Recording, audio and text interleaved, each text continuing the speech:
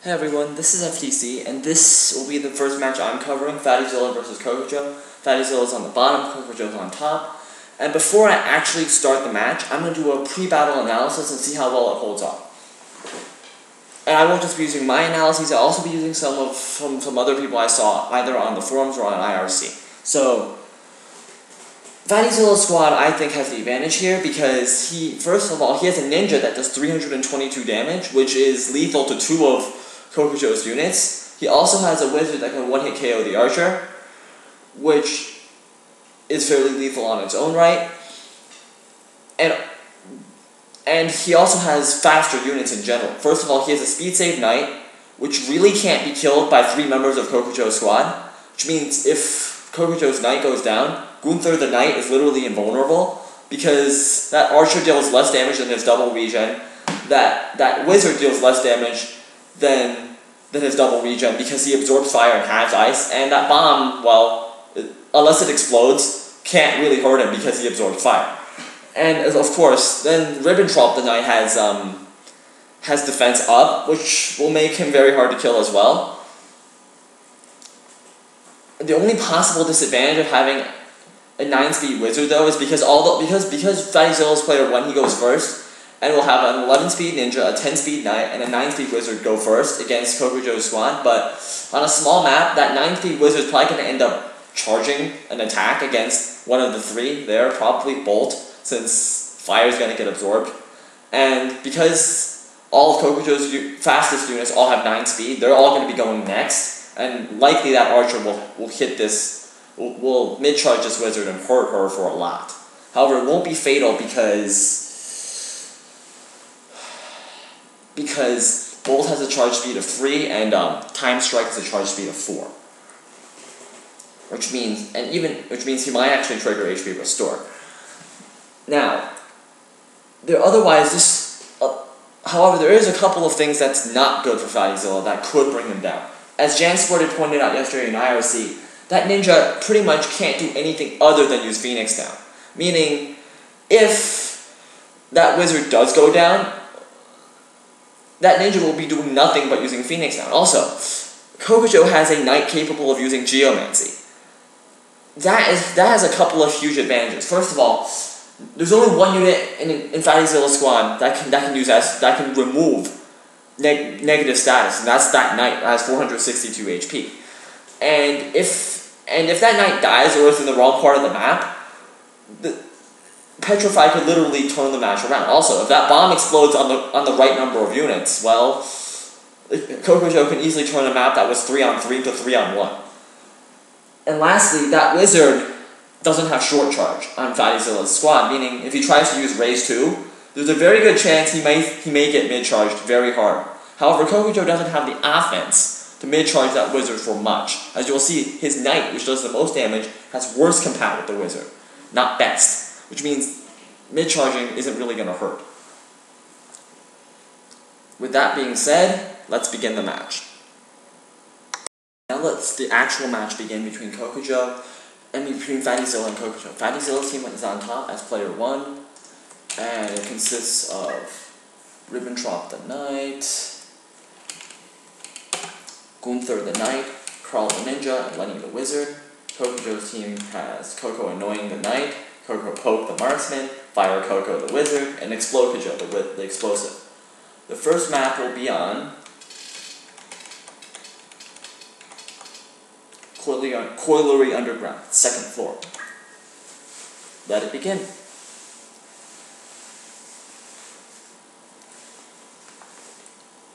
Now, this is a fairly big map, and as thus, it should favor Kokojo because his team stays together better.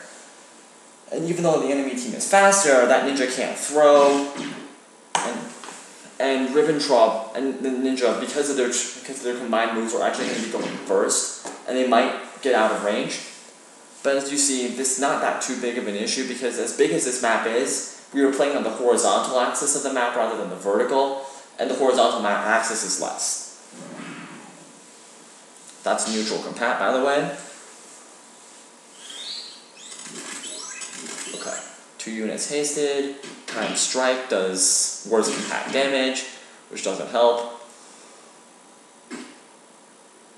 And it gets damage splitted, but then again, this is just basics. Okay, that's probably Bolt. And that archer is probably gonna die.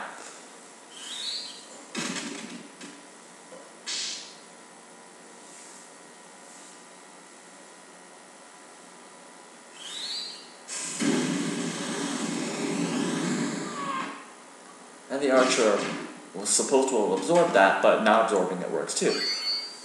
And he goes back to health again. This is the other problem with with um with Fattyzilla Squad, it's that if a unit goes down, it's relatively hard for him to revive anyone because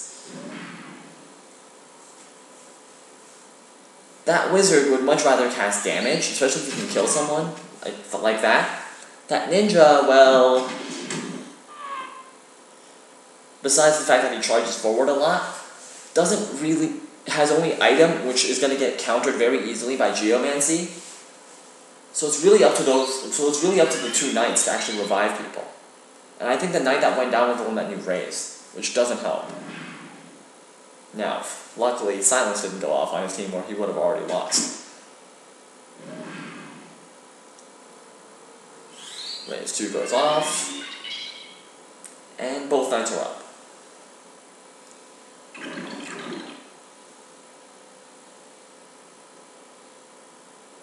casting Cure 3, I think. And HP Restore goes off again. Now you see what the problem is. That wizard just won't go down normally.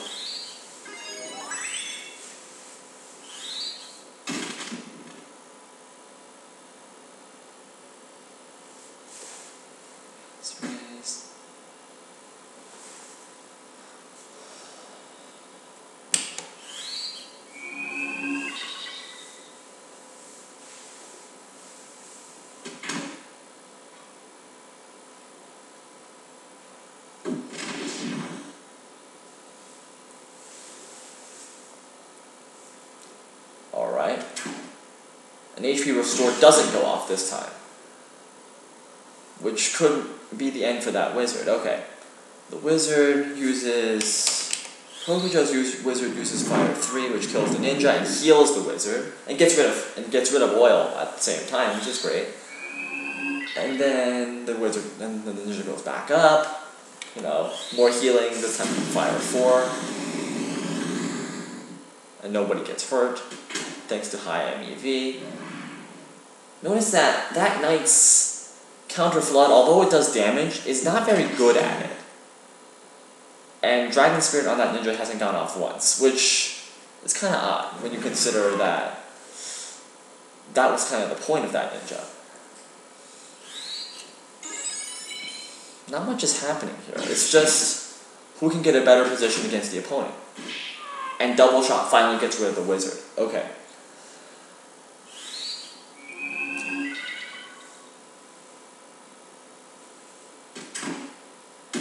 And another double shot kills Kokojo's knight. Okay, this is what I was afraid of.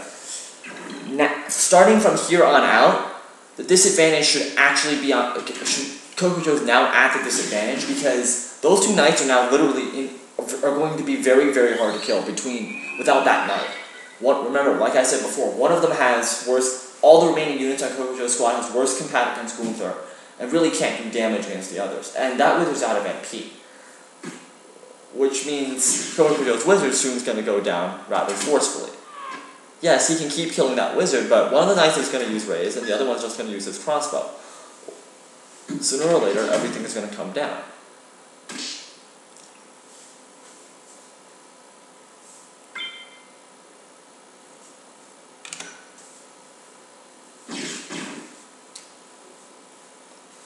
Time strike again. Worst compat doesn't really help you there.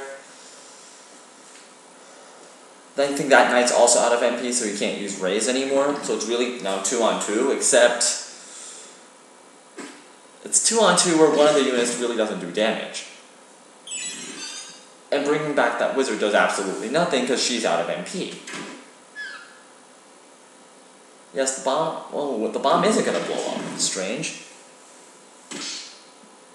And since that was off of a counterattack, the bomb can't even use critical quick, so now it's finished. The art. Okay, Kokojo's lost. That that archer is not only is not only not faster than the knight now because of because the knight had one speed save. He's also not able to actually save the wizard, nor is the wizard capable of doing anything to help him. So this is two on one, and it's going to be permanently two on one until that knight goes down.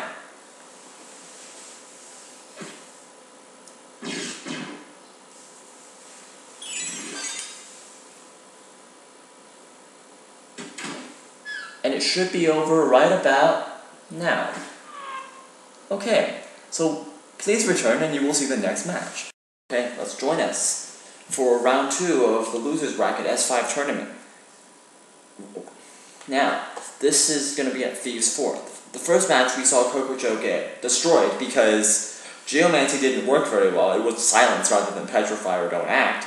And, well, those two knights pretty much completely destroyed Kokojo's squad, slowly but steadily once his wizard ran out of MP. Of course, the finishing blow was the fact that um, his explosive didn't even get a critical quick off because of because the damage was off of counter was off of damage split rather than direct damage. Now let's see let's see how well Kokojo does on, on the Thieves Fort.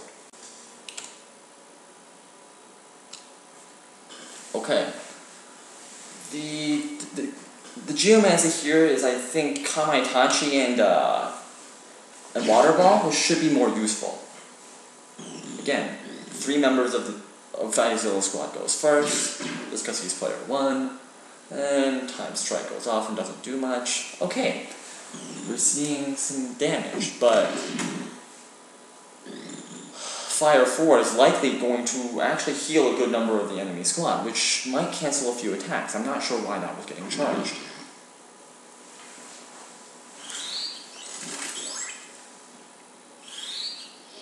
Have to charge ice. Ah. Okay, ninja goes down. Wizard is healed. But that ninja was in fact the most lethal member of um Okay, so the wizard goes down too. So pretty much both sides have now lost their most lethal most lethal units. And I think that knight should go down after that. Charged heal, but since this charge is um, off. Ooh, that that is critical. That okay. As of now, I would argue that, that Kokojo just won this because there's absolutely no way any of their units can heal Frog, or or um. Uh, so unless that ninja is revived, Fattyzilla has no chance of winning this at all. And I think that's going to get mid charged. Or that. But that won't affect the charge. Okay, so... Yes, and that's the that knows Esuna. So he still may have a chance, Fattyzilla, if he can as he if he can heal the other knight that's Frog. If he can't, this is over.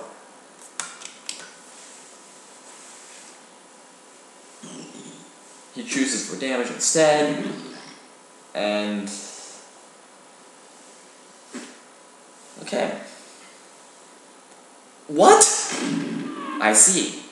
That KO's virtually that KO two members of the squad, so it's not that bad of an idea to explode. And since it since a Phoenix downed um, bomb, oh wow, counter flood killed a frog. Okay, and since the the bomb is now critical, he's more likely to explode again. This time probably right oh here where my cursor is, since if he goes there, or never mind, the knight can do it too. Oh yes, and Demon Fire was dealing double damage because of, um, because of, whatchamacallit, because of oil. That's actually not a bad idea. So, Kokojo wins round two. Let's see what happens on round three. For those of you who are just joining in, we saw Kokojo win round two off of, well, Geomancy, which turned one, which turned the, the, the key sandbagging unit uh, not key sandbagging, the key walling unit on um, Fattyzilla's team into a frog. Once that happened, and once the bomb took out two people, well, the rest was history. So now let's see if he can repeat that on map 3, which is a small map, supposedly. Um, Finath River.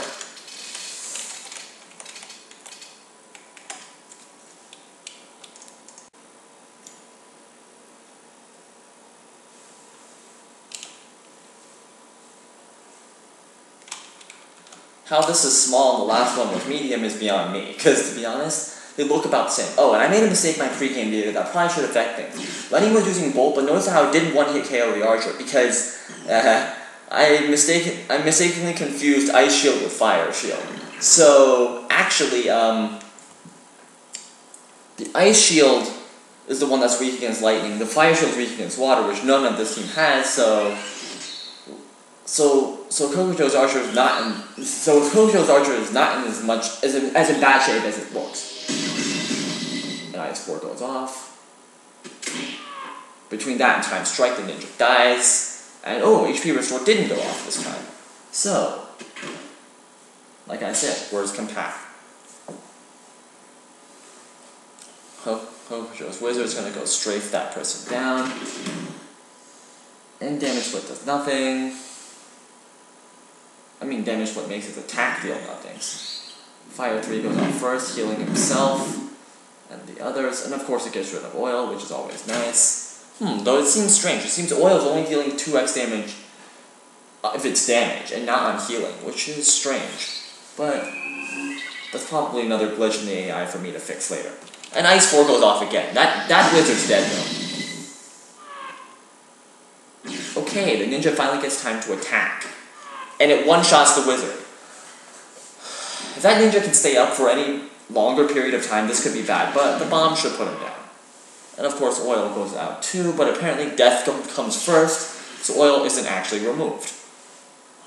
Don't you love this? Don't you love how they coded the battle mechanics? Anyways, that wizard isn't going to go down yet and has HP restore, so it's going to take another turn from these nuts. So Fattyzilla right now is at the disadvantage because he's now being forced to defend.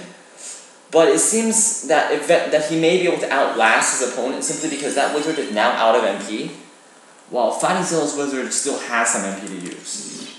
Geomancy's here are Stop and um, Frog, both of which are not being annulled by the other team, so this could get interesting. Ribbentrop goes behind. And stopped. Okay, so Ribbentrop is stopped. So it's technically two on two because that wizard really can't do anything. I mean, the wizard on um, the wizard on the wizard on um, Kokojo team really can't do anything. But now it's except draw fire, which is actually not a bad idea since uh, okay, that wizard's getting mid-charged. Okay, now it's 3 on 1. Kokojo might just win this, because... That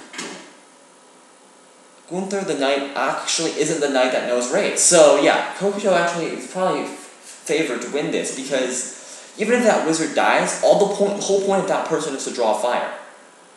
Yes, 156% missed last time. Off, I'm actually 156 damage missed off of 95% last time, which was very unlucky for Kokojo.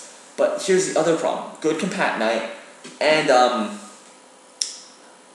and eventually he's gonna get a stop proc off, and even if he doesn't, the bomb can blow up. So um, even though both of them have double regen, it shouldn't matter here. Douse doesn't matter either way.